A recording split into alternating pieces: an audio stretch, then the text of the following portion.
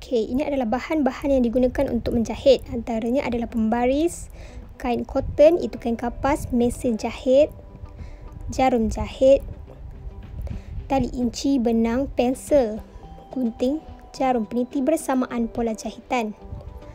Okey, ini adalah lakaran 2D dan 3D iaitu di mana di sini kita akan letak tali di bahagian leher dan tali ikat di belakang bersamaan poket di bahagian depan yang mempunyai hiasan butang di atas dan di bawah.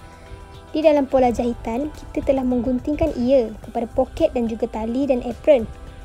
Ini adalah hasil apabila ia sudah siap digunting. Sebelum menjahit, kita perlulah menggosokkan dahulu lipatan yang perlu dijahit agar ia menjadi kemas dan tidak uh, merosakkan jahitan kita.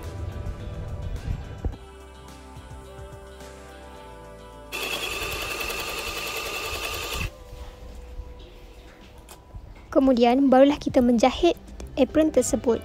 Jahitan yang dilakukan adalah di bahagian hujung-hujung apron dengan menggunakan jahitan kia.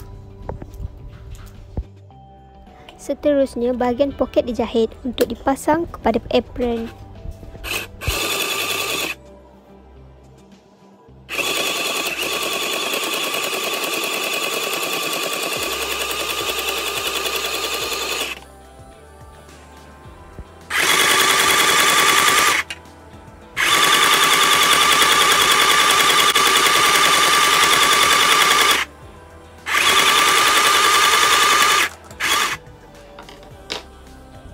Seterusnya, tali untuk diikat di leher dan juga di pinggang. Ia perlulah dilipat dahulu sebelum dijahit.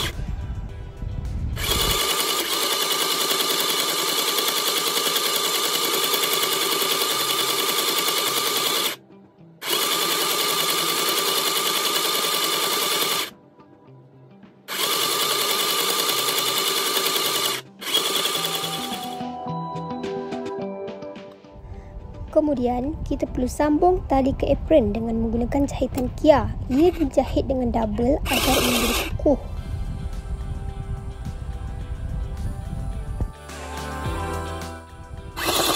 Kita mula ke bahagian poket.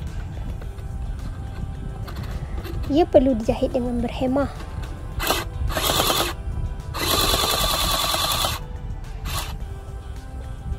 Tara, inilah hasilnya di bahagian tepi. Sekarang kita perlu buat sekatan di bahagian tengah-tengah.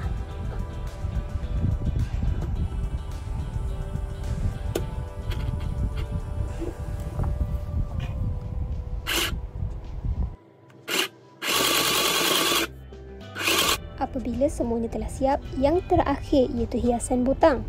Ia perlu dilakukan dengan jahitan tangan. Butang tersebut berfungsi sebagai hiasan.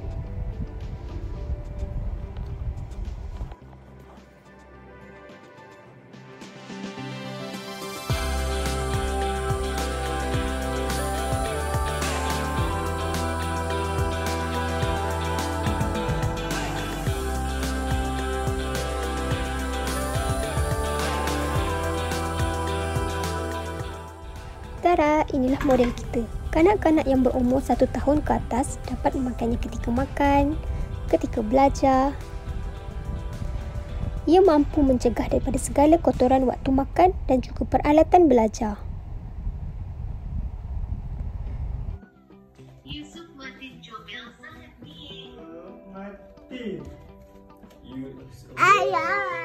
Kanak-kanak amat gembira apabila memakannya kerana ia adalah selesa dan kemas.